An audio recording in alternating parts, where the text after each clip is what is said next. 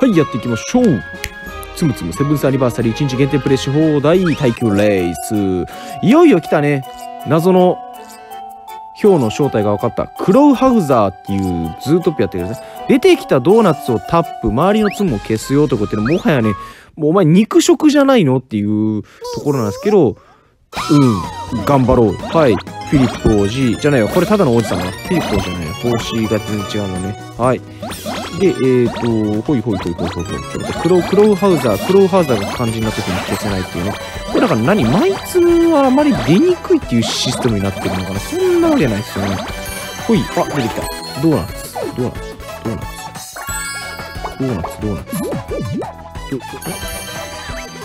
あードーナツが大好物っていうキャラなのね。ズートピアもちゃんと見ないとねいけないっすね。ただ単にシャキーラが出てたぜっていうしょうもない豆知識を披露してる暇があったらちゃんと本作品を見なさいっていう戒めですね。なるほどね。ドーナツが好きな肉食ですか？かわいいな。かわいいねっていう感じ。ほいほいほいほい。ほい。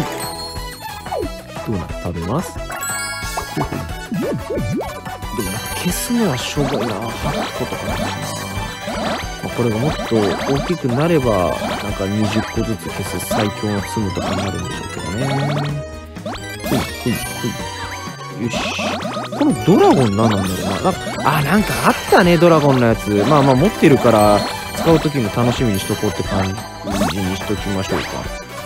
うードーナチュードーナチューチュー5 5ってマジか。5かいやー。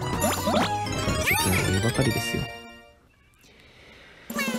さてマイツム410個消す長い旅にまた出ていきましょうか。まあ合計なんでありがたいですよね。ワンプレイで410個消すっていう苦行はせずにねしますからね。てか410個ワンプレイで消せるのかな？まあいやそんなこんなで次やっていきましょう。バイバイ。